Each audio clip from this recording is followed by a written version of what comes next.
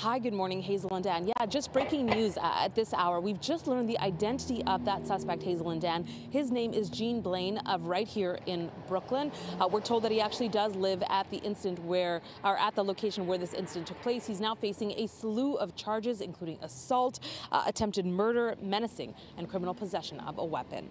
Now, all of this happened yesterday afternoon at th uh, around 3:30 at uh, uh, here on New York Avenue. We are here at the corner of New York and Beverly Road. Uh, police say they received a call for an emotionally disturbed person, and when they arrived, they encountered a 40-year-old who was combative.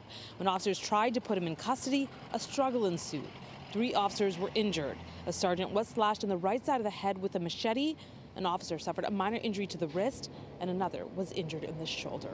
Now, guys, again, we can tell you that uh, that suspect is Gene Blaine, 40 years old, of here in Brooklyn. He is facing a slew of charges.